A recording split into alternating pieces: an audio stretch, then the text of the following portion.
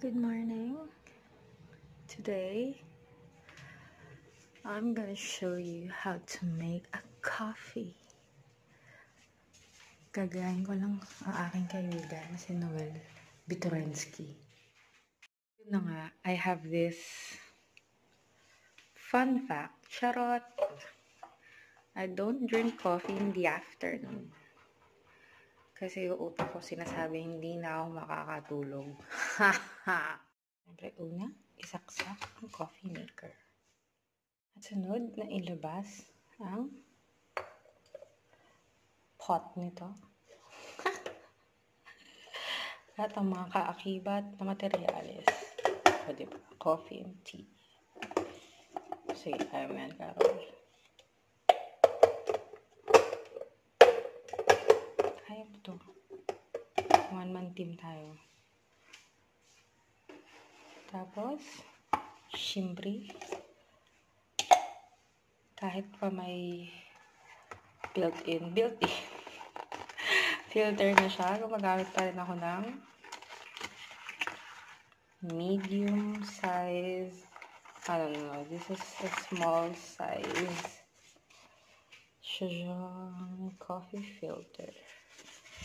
Ilagay ng matiwasay here.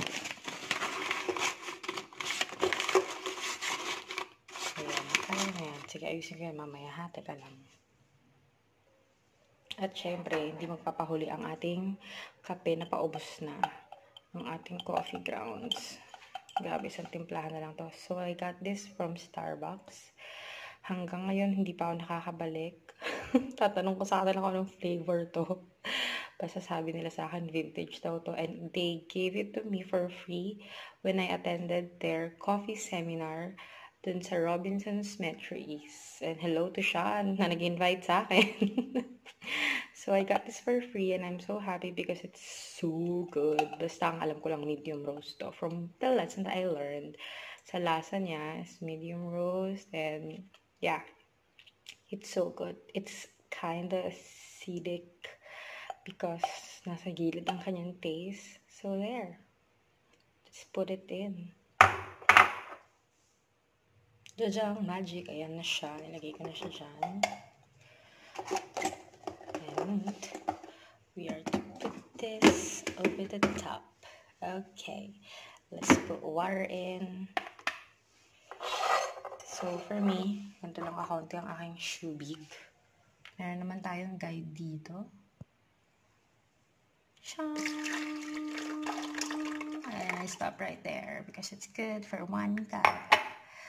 Para tamang-tama sa ang lasa. Let's turn it on. And we wait. Oh yeah.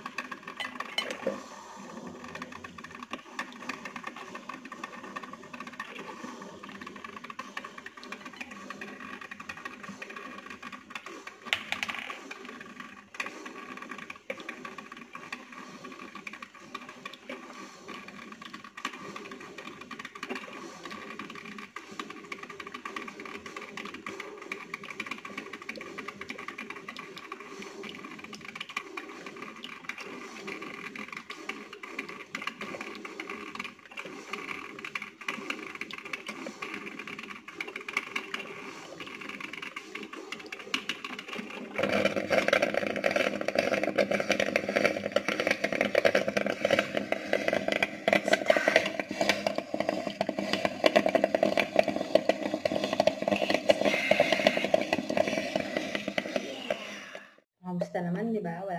Kaayos-ayos. Umaga-umaga. Kita-kita pala tayo perfections. But yeah, mayuman. And hello, hello. So, ito na. Magkakape na nga po tayo. So, since coffee is acidic, I don't usually uh, drink it with an empty stomach kasi mas lalala lang yung acidity natin, mga kapuso, kapamilya, kapatid.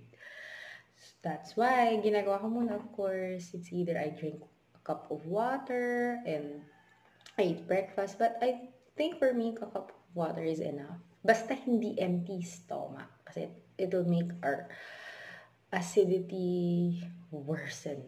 Yon.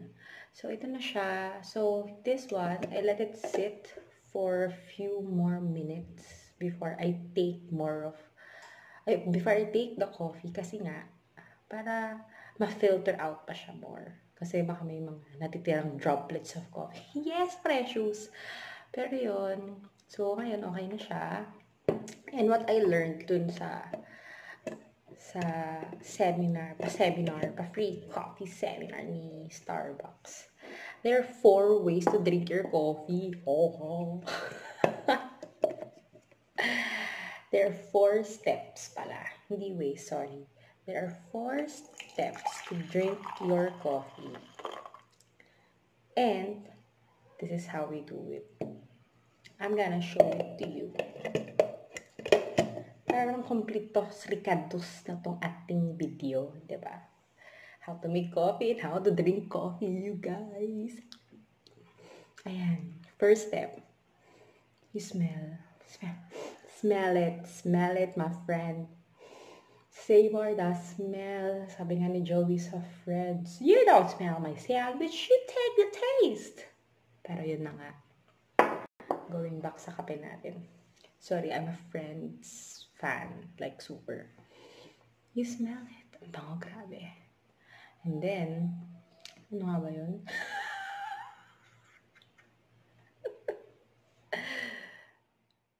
Naalala ko na.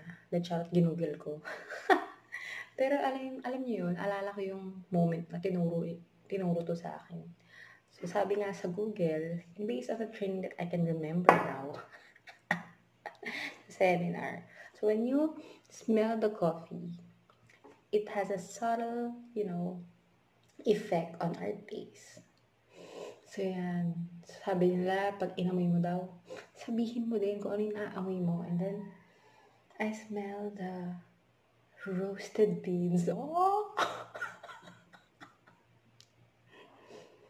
Pero nga, I smell the roasted beans. Ah, diba? At medyo may tamis siya ng konti sa smell. And then, second step is you slurp it. You know how the Japanese eat noodles? It's the same way daw with our coffee. Para hindi tayo mapaso. Hindi, but at the same, when we slurp, once we slurp, ano yan, so dali natin may inom ng kape. Try natin. Aha. Aha, aha. We slurp it. Oh yeah. Third step is to locate. Actually, it's the first time that I've heard about it when I attended the training is to locate the taste. So, saan, kumbaga, saan naglalanding yung lasa ng kape. Because that describes what kind of coffee it is. Diba? So, ito, So, next time na yung, or you can ask my friend from Starbucks, Sean. Yes! Feeling close. Hi, Sean. Kung ano-ano yung mga uh, tastes and kinds of coffee. So, every time I drink this coffee, locate ulit natin na.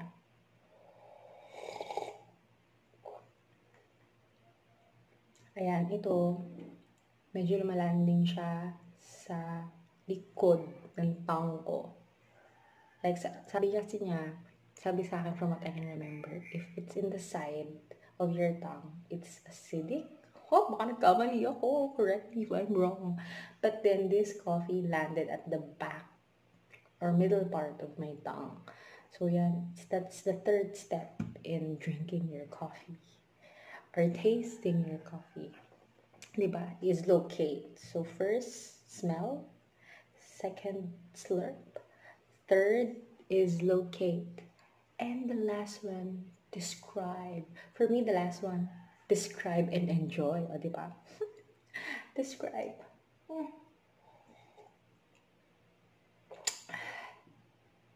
It's good.